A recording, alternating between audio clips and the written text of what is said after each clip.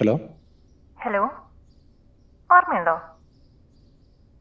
പിന്നെ അല്ലാതെ ഓർമ്മയുണ്ട്? നാട്ടിൽ വന്നിട്ടുണ്ടെന്ന് അറിഞ്ഞു ഓ എല്ലാം അറിയുന്നുണ്ടല്ലോ. ആ വന്നിട്ട് മൂന്ന് ദിവസമായി ഞാനിപ്പോഴും നവനീറ്റായിട്ട് കോണ്ടാക്റ്റ് ഉണ്ട്. അവനാ പറഞ്ഞത്. കൂടെ പഠിച്ചവരിൽ ഞാൻ അവനെ കേട്ട കോണ്ടാക്റ്റ് ഉള്ളൂ. പിന്നെന്താ ഗൾഫിലേക്ക് പോയേ? നാട്ടിലെന്തൊക്കെയോ പ്ലാൻ ഉണ്ടെന്നായിരുന്നല്ലോ. അന്ന് ലാസ്റ്റ് കണ്ടപ്പോൾ പറഞ്ഞത്. സ്ഥിതി എങ്ങനെയായിരുന്നു? രജിത്തില്ലേ? ബികോമിലുള്ള ഏത്? ആ ആ ചുവന്ന ബൈക്കൊക്കെ ആയിട്ട് വരാറുള്ളത്. ഞാൻ അവന്റെ കൂടെ അല്ലേ കോളേജിൽ വരാൻ ഇടയ്ക്ക്. അവന്റെ മാമ വന്നപ്പോൾ ഒരു ദിവസം കൊണ്ട് വന്നിരുന്നു. നിനക്ക് ഇപ്പോഴത്തെ അവസ്ഥയൊക്കെ അറിയാലോ? പൈസയ്ക്കെല്ലാം ആവശ്യമുള്ള സമയമായിരുന്നു. അങ്ങനെ വീട് വിറ്റ് ഗൾഫിലേക്ക് പോയി. മൂന്ന് വർഷം. ഇപ്പം നാട്ടിൽ പുതിയ വീട് വയ്ക്കുന്നു. നീ എന്ന് പറഞ്ഞ എനിക്ക് ഇപ്പോഴും ഓർമ്മയുണ്ട്. കോളേജ് കഴിഞ്ഞ് രണ്ട് മൂന്ന് വലിയ സംവിധായകരെ അസിസ്റ്റ് ചെയ്യണം. സ്വന്തമായിട്ടൊരു പടം എടുക്കണം. അങ്ങനെയൊക്കെ ആയിരുന്നില്ലേ? അതൊക്കെ വിട്ടോ? അപ്പത്രണ്ടായിരുന്നല്ലോ.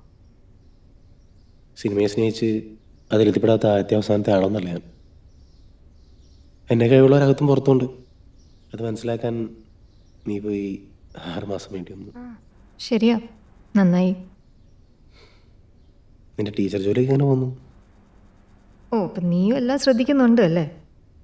വൈഷ്ണ അവളുടെ വാട്സപ്പ് ചെയ്യാറുണ്ട്.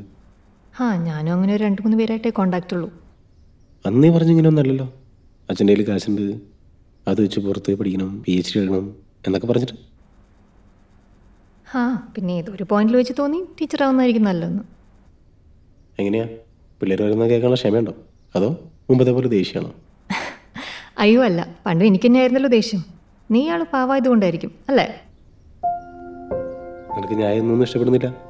എല്ലാത്തിനോടും ദേഷ്യം എന്നോടും ദേഷ്യം. ഒരു സമയം ഞാൻ കരുതി നീ ഒരു അക്ഷരവിരോധിയാണെന്ന് പോലും.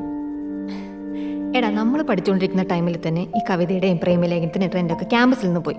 അപ്പോഴാണ് നീ കുറെ കവിതയും പ്രേമലേഖനമായിട്ട് വരുന്നത് അപ്പൊ ഇതാണോ കാരണം. ഇതാണോ പറയാൻ പറ്റില്ല എന്ന് പറഞ്ഞു അതിനുശേഷം ഞാൻ ലൈബ്രറിയിലേക്ക് പോയിട്ടില്ല.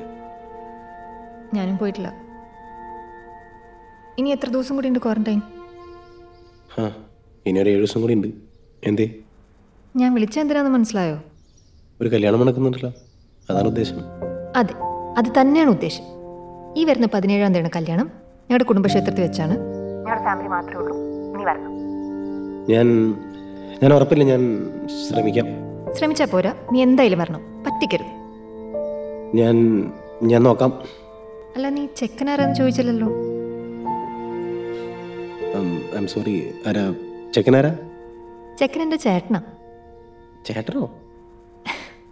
ആടോ എന്റെ ചേട്ടന്റെ കല്യാണം. പെണ്ണിന്റെ വീട് ചോറ്റാനിക്കര അവരെല്ലാവരും രാവിലെ തന്നെ എത്തും. ഞങ്ങൾ നേരെ അമ്പലത്തിലേക്ക് പോകും. ഫാമിലി മാത്രമേ ഉണ്ടാവുള്ളൂ. നീ വരണം.